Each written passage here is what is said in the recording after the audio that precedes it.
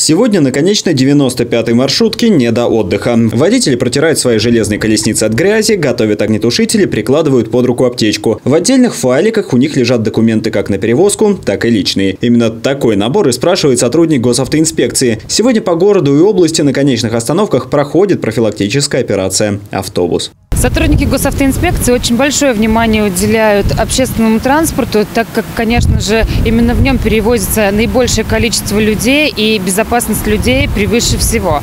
А, на этой неделе в ходе операции «Автобус» а, регулярно а, на постоянной основе проводятся профилактические мероприятия, где выявляются нарушения. Нарушений, правда, немного, но уже парочку административных материалов автоинспекторы составили, а все потому, что проверяют основательно. Огнетушитель, аптечка, знак аварийной остановки.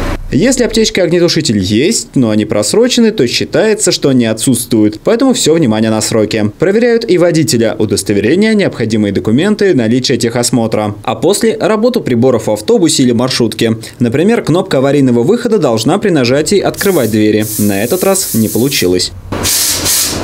Не работает. Теперь заполняют новый административный материал. Водители утверждают, мол, еще с утра кнопка работала. Перед выездом все машины осматривают. Ну, сломался она, сейчас вот работала и сломал, сейчас поедет чинить.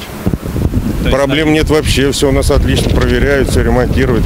Водитель экипажа уезжает чинить кнопку, а экипаж ГИБДД меняет место дислокации. С начала года уже выявлено более 450 нарушений ПДД со стороны водителей автобусов. Четыре транспортных средства и вовсе отправлены на штрафстоянку. До начала операции «Автобус» уже было составлено 40 административных материалов на должностных лиц, отвечающих за выпуск на линию автобусов и маршрутных такси. Валерий Седов, Станислав Кудряшов, телекомпания «Город».